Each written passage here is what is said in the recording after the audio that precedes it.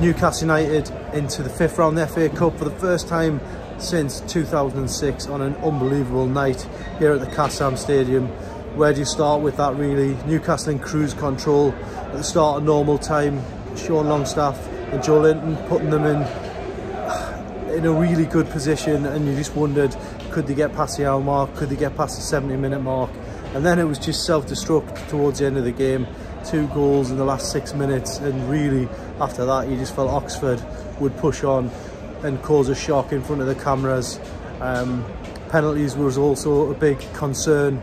But then Allan Saint-Maximin pops up scoring absolute worldie slams it in the top corner. He looked like Newcastle's last hope to be honest. They were all over the place at times uh, towards end this game. But thankfully the advance to the last 16 of the cup um, it's been a crazy week as as it is on Tyneside but you know they go away for that winter break now on a real high. Newcastle get through. It's been exhausting here tonight just watching that but Newcastle are in the fifth round and the FA Cup dream is still alive but only just